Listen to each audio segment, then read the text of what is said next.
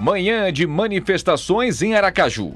Professores universitários e do Estado protestam contra a emenda constitucional que congela investimentos na área social durante 20 anos. Diminui recurso humano, diminui recurso financeiro não é a, a solução.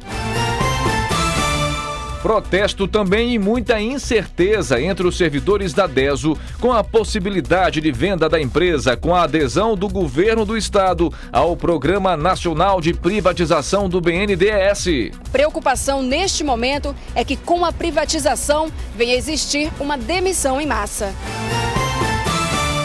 Sem dinheiro e sem futuro. Terceirizados da Prefeitura de Aracaju voltam a ocupar sede da Imurb. E aos poucos, coleta de lixo volta à normalidade em Aracaju. Se liga aí, viu, Papito? O Balanço Geral Sergipe começa agora na tela da sua TV Atalaia.